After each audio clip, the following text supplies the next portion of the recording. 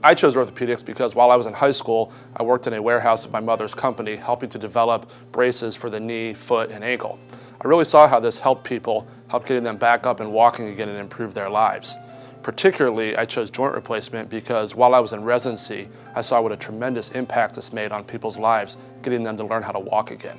It really helped restore their lives, enjoying playing with their grandchildren, going on vacation, and doing the things they had been missing out on. I think it's real important when I meet patients for the first time to go over all the treatment options for arthritis. This includes everything from anti-inflammatory medications, physical therapy, injections, home exercise programs, etc. It's only after these conservative measures have failed that we then begin talking about surgery. Now, in terms of surgery, we always try to do the most minimally invasive procedure we can. The idea is less damage to the soft tissues, less pain, and a faster recovery. I perform approximately 200 hip and knee replacements yearly, including both primary and revision hip and knee replacements, as well as robotic-assisted partial knee replacements. One of my favorite procedures is the Makoplasty. That's a robotic-assisted partial knee replacement. This allows us to do knee replacements through very small incisions using the precision of robotics. The advantage of this is less recovery time, much less pain, and a more normal feeling knee afterwards.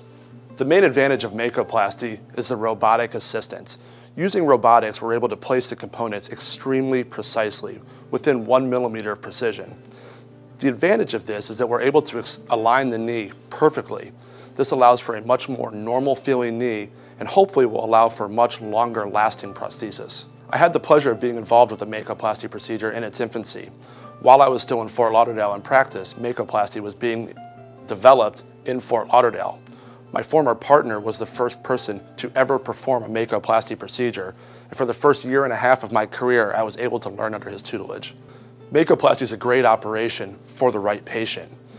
Specifically, Makoplasty is indicated when you have isolated arthritis to one part of the knee. Every time I see someone with arthritis to their knee, we talk about the possibility of Makoplasty. There are some patients where it's the perfect option. Unfortunately, however, Makoplasty is not the perfect option for everyone.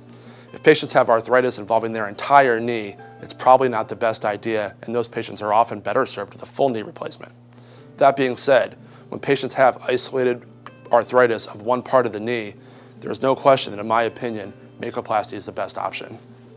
This is a really exciting time in the joint replacement field. Specifically with hip replacement, we're now doing procedures using the anterior approach.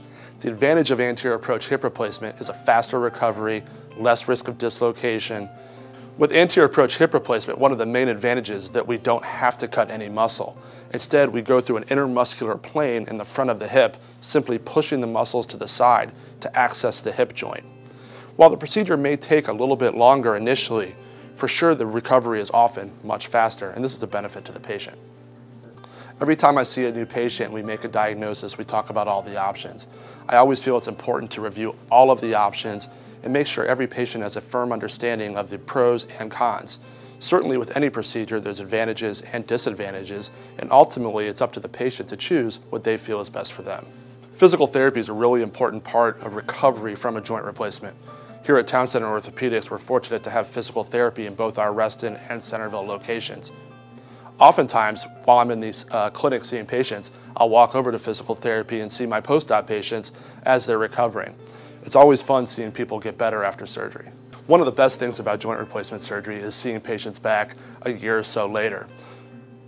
It really is a life-changing procedure. These are people who could barely walk before surgery, and when they come back a year later, they've been telling me about all these vacations they've been on, graduations for their grandchildren. They've really gotten their life back.